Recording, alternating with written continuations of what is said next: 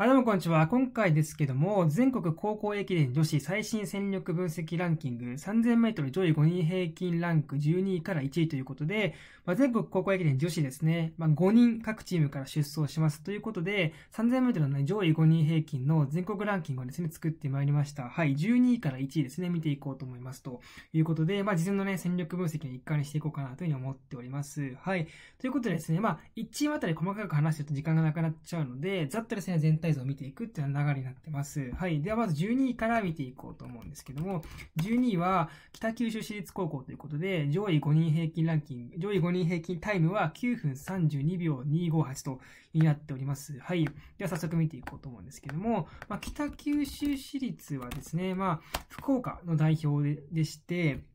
まあ、福岡といったらね、筑紫女学園ね、いまして、ここのね、2校はですね、まあ、ライバルということでですね、バチバチやり合っていますけれども、北九州市立の場合はですね、まあ、下森選手がですね、まあ、エースというか、まあ、全国インターハイでは3000メートル、1500メートルともにですね、決勝残りまして、3000メートルでは入賞をしているというような選手です。まあ、県ね、県駅伝、地区駅伝ともにですね、1区ですね、6キロ区間ですね、最長区間進めてきまして、まあ、20分前半で走ってきているというところですよね。まあ、5000メートルも15分台乗ってきている選手ですし、まあ、紛れもなくエースなのかなというふうに思ってます。まあ、その他にもですね、1年生の中村選手ですね、経営記念ではアンカーを務めましたけれども、はい。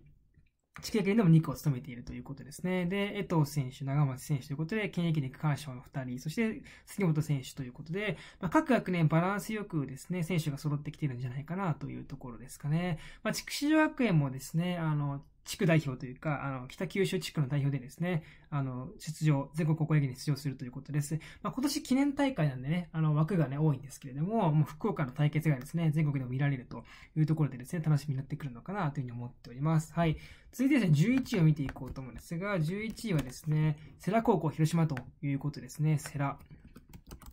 まあ、ここのね、セラーも広島の代表ですけれども、広島もですね、今年は銀河学院ですね、が非常に強くてですね、あの、後半ですね、あの、世羅高校がですね、留学生のね、ワングイ選手で逆転しましたけれども、まあ、あわやね、広島大会はですね、銀河学院が勝つんじゃないかっていうような展開でして、はい、非常にですね、まあ、銀河学院も強くてですね、その後、あの、地区代表になったんですけれども、はい、あの、先ほどの福岡と一緒でですね、この2校ですね、広島のセラと銀河学院です。銀河学院ですね、楽しみになってくるかなというところではありますが、まあ、中心になってくるのはですね、3000メートル自己記録8分台のですね、ワングイ選手ということですね。まあ、インターハイもですね、表彰台登ってまして、8分55ということで走ってきております。はい、その他の選手で言うとですね、あの、山田選手が県営県では1区ですね、最長区間関所を取っていて、2区ですね、4キロ区間のところでは後藤選手ということです。で、井上選手、森本選手がですね、3区、4区ということで走ってきております。はい。まあ、北九、えっと、中国地区はですね、あの、県駅では走らなかったメンバーでね、構成してきてこんな感じになっているというような状況です。ワングイ選手までにね、しっかりね、差を最小限に留めていて、入賞圏内までね、持ってきたいなというところではないでしょうか。はい。で、続いてですね、10位ですね、見ていこうと思います。10位はですね、長野東高校ですね。まあ、長野東は去年ですね、作戦勝ちでですね、勝ちましたけれども、今年はですね、はい、まあ、去年よりはね、少し戦力ダウンというところではあるかもしれませんけれども、まあ、久保田選手、縄選手ですね。この二人がですね、強いのかなというところですかね。まあ、縄選手はですね、まあ、一区やっぱね、あの、去年のところから走ってきていますけれども、今年はですね、県駅では出走なかったですが、しっかり北新、北新越地区でですね、一区区間賞ということで走ってきております。はい。で、久保田選手はですね、まあ、インターハイ3000メートルね、10位に入ってきてますし、国民体育大会でもね、入賞しているということです。まあ、県駅伝ですね、一区走りますまして、区間賞、そして地区駅伝でも5区区間賞ということで、まあ、この選手もですね、長い距離もバッチリいけるんじゃないかなというところですかね。はい。で、1年生のね、マシバ選手が、まあ、県駅伝では2区ですね、4、4キロ区間ですけども、区間賞を取っているというような状況ですね。まあ、今年はですね、昨年よりはね、少し、あの、事前の戦力ランキングでもですね、下の順位ではあるんですけれども、まあ、しっかりですね、全国の舞台に合わせてくるというような高校ですので、また去年のようにですね、うまく作戦勝ち流れをね、しっかり作りながらも、うまくね、あの適材適所で配置していければね、入賞も見えてくるんじゃないかなというようなところではあります。はい。そして続いて9位を見ていこうと思いますけれども、9位はですね、工場館高校ということで、岡山ですね。まあ、工場館ですね、少し何名かの選手がですね、他の学校に移るというようなところがありましたけれども、まあ、しっかりですね、事前の戦力ランキング9番につけてきました。はい。まあ、あの、岡山県の高校駅伝ではですね、1、2、3、4ということでですね、前半区間、あと、5区以外は区間賞ということになっておりまして、で、アイリー選手がですね、経験が5区2位ということでした。はい。まあ、地区駅伝もですね、あの、5区3位ということで、まあ、区間賞とはなってませんけれども、もう専門的には中心になってくる選手かなというふうに思っております。はい。で、まあ、県駅伝とか走ってきてないんですけれども、松尾選手や杉森選手ですね。まあ、シーズンベストのところではね、悪くないタイムでね、松尾選手走ってきたりもしていますし、はい。まあ、杉森選手はね、少しちょっとね、シーズンベストまだまだ上記録から遠いですけれども、まあ、県駅伝のメンバー、プラス、松尾選手がね、走ってくるんじゃないかなというところで、はい。まあ、入賞圏内も見えてくるんじゃないかなと思っているんですけれども、まあ、ちょっとね、あのー、他の枠に移ってっていうところがあって、戦力ダウンのところはありましたけれども、しっかり9番手につけてきているというところで、ね、さすが名門校かなというふうに思っております。はい。まあ、樋口選手や坪島選手ですね、もうね、経験がありますしですね、楽しみかなというふうに思っております。はい。ということで、入賞圏内8位を見ていこうと思うんですけど、8位はですね、須磨学園高校ということで、でまあ、ここのね、兵庫県もですね、まあ、西脇妻とですね、バチバチやり合っていますけれども、まあ、1年生の池野選手がですね、まあ、近畿高校駅伝では1区区間賞ということでね、タイムもいいですよね。まあ女子なのでね、学年のね、力の差というところはね、そこまでね、男子よりは大きくないですけれども、まあとはいえね、1区でしっかり区間賞を取ってくるというところはね、素晴らしいかなというところではありますし、まあ激戦のね、あのまあ本当兵庫県は勝ち抜いてきているというところですので、まあ全国でもですね、あの十分上位が狙っていけるんじゃないかなというふうに思っております。はい。で、800戦はですね、中距離が強いね、関本選手もね、あの、県駅伝の2区、区間賞ということですし、はい。まあ、地区駅伝で5キロ区間を走った生田選手だったりとか、まあ、県駅伝の黒田選手ですね、もいて、まあ、あの、しっかりですね、地区、県ともにですね、戦ってきたメンバーでですね、きちっと層の厚さもね、あの、整えられてるんじゃないかな、っていうふうに思っております。はい。ということでですね、7位を見ていこうと思うんですけど、7位はですね、青森山田高校ですね、青森山田。青森山田ですね、直直近の日体大記録会でですね、非常に多く自己記録が出まして、9分26というところで7位につけております。まあ、ルーシー選手ですね、ルーシー・ドゥタ、ルー・タ選手がですね、まあ、インターハイでは3000メートルでね、表彰台に残ってますし、国民体育大会でね、優勝しているというような選手でして、まあ、県駅伝のね、区間新記録、東北駅伝のですね、区間賞ということで、はい。まあ、15分でね、連発してきてますので、まあ、都大路もですね、楽しみになってくるかなというふうに思ってますし、まあ、鈴木選手だったりとか、直近のね、まあ、記録会でね、山崎選手ですね、もう結構ね、いい走りもしてきてますし、県駅伝のね、県駅伝では19分で出してきているということなので、まあ、日本選手もね、力でメンバー揃ってきてるなというところですかね。はい。ですね、1年生の野呂選手もね、駅伝はまだ出てないね、県駅伝、地球駅伝は出てないですけれども、9分36を持っているということですし、まあ、インターハイに5000メートル競歩で出場したね、選手もいたりということで、まあ、あの、ルーシー選手が中心ではあるので、しっかりね、あの、前半4区間でですね、入賞圏内とはね、差をしっかりとどめてですね、きちっとですね、ルーシー選手でね、大きく稼ぐというような展開になってくるのかな、というふうに思ってます。はい。続いてですね、6位を見ていこうと思うんですが、6位ですね。東大阪対 KI ということで、まあ、こちらですね、非常に、まあ、あの、陸上ですね、駅伝のね、ファンというよりかは陸上ファンでしたらね、トラックフィールドですね。あの、まあ、短距離とか、まあ、400、800とか、あの、ハードルとかですかね。もうトラックフィールドが強い高校ということでですね、有名な高校ですけれども、はい。まあ、長距離もですね、本当に2年前とかぐらいからですね、少しずつ力をつけてきていて、まあ、今年ですね、まあ、インターハイで800メートル勝ちました久保選手ですね、がね、800メートル中距離ですね、も強いですし、まあ、5キロ区間のですね、5区も県駅伝では区間賞を取ってて、地区駅伝はですね、あの、最長区間に登場しまして2位ということなので、まあ、あの、スピードをね、活かして、あの、長い距離もやっていけるということで、非常に楽しみな選手なのかな、というふうに思っております。はい。で、まあ、注目校はね、東大阪気合かなというところですかね。まあ、あの、大阪といったらですね、訓練女学院ですけれども、しっかり地区代表枠でね、勝ち取ってきまして、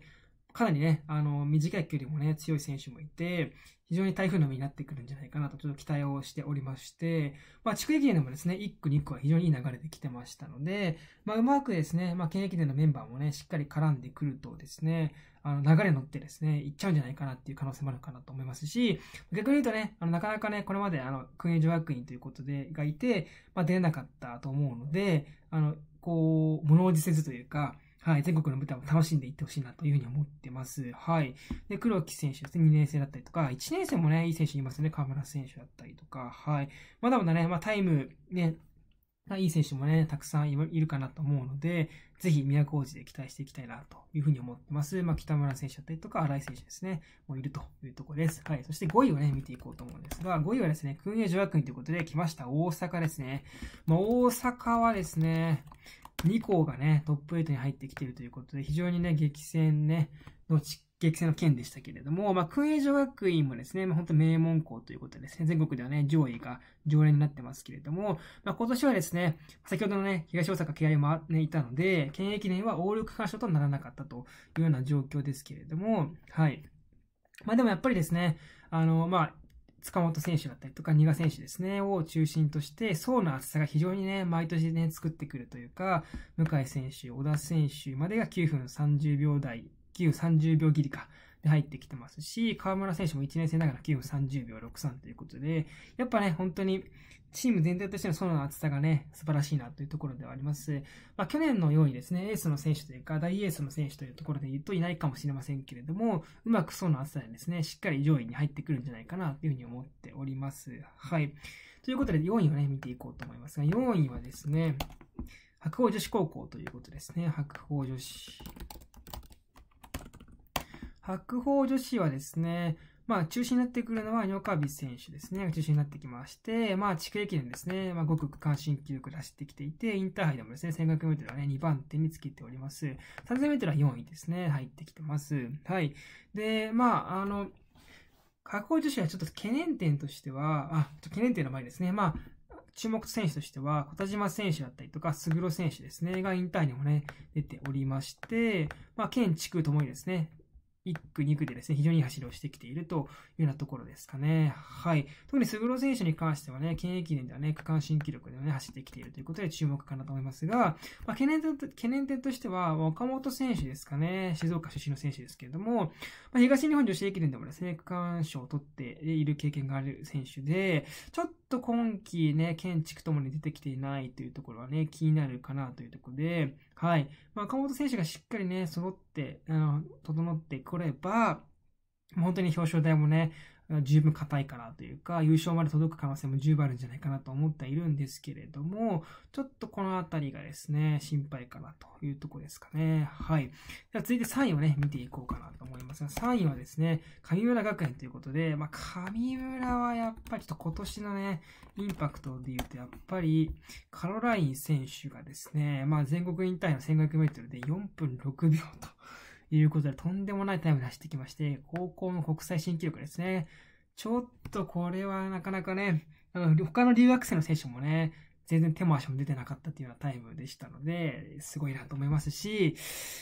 県駅伝とかもですね、まあ、記録出やすかったのかなと思うんですが、14分33、5記録間でね、出しているということなので、まあ、宮古路のあのね、ちょっと下り気味というか、走りやすい5キロだったら、14分20切っちゃうぐらいのところ、本当にね、やっぱり強いのかなと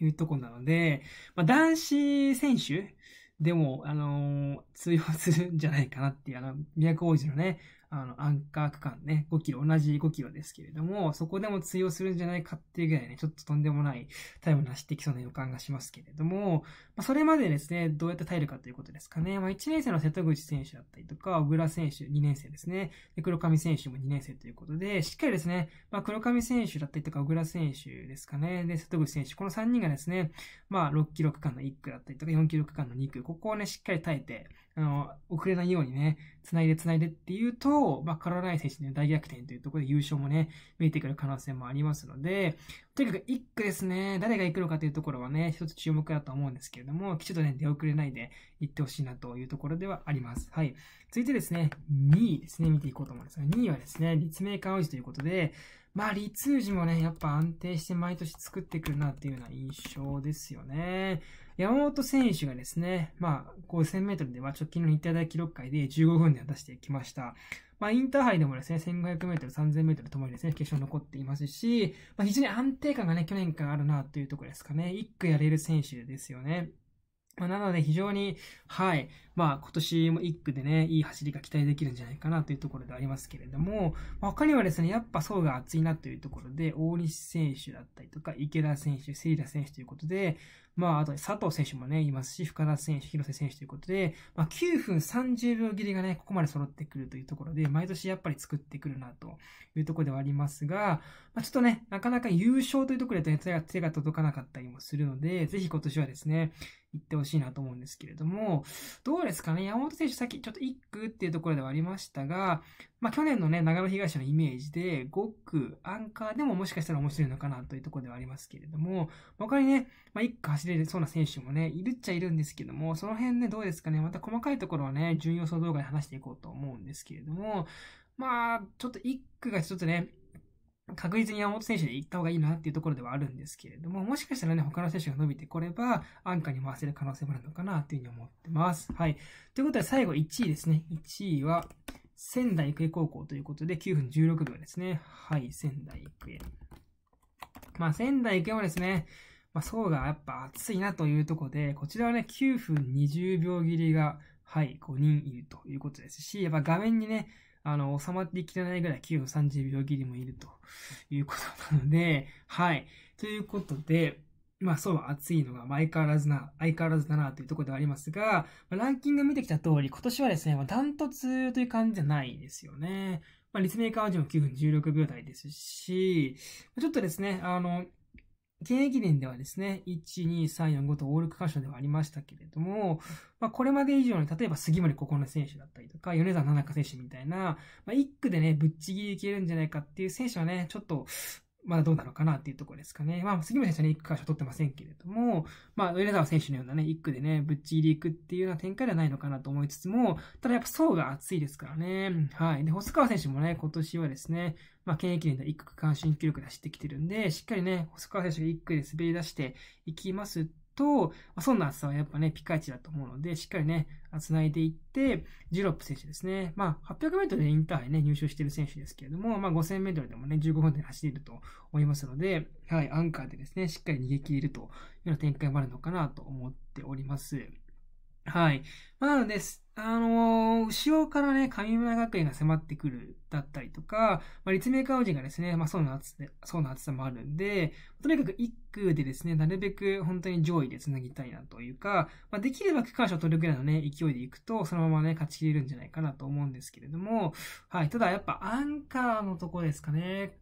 神村学園のカロライン選手がいたりということなので、はい。どれぐらいリード保てるかっていうところもあるので、あの、その辺はまた予想していこうかなと思ってますが、まあ、あと、カビア選手とかもね、800メートル強い選手ですけども、今季はちょっとね、出てきてなかったり、まあ、全員ね、まだガチッと揃ってきてないところではありますが、そこはその厚さでカバーできるんじゃないかなというところであります。はい。ということでですね、お伝えをしていきました。ちょっと女子の方はちょっとあんま詳しくないところもあるんで、本当にざっとでしたけれども、またコメント欄補足よろしくお願いします。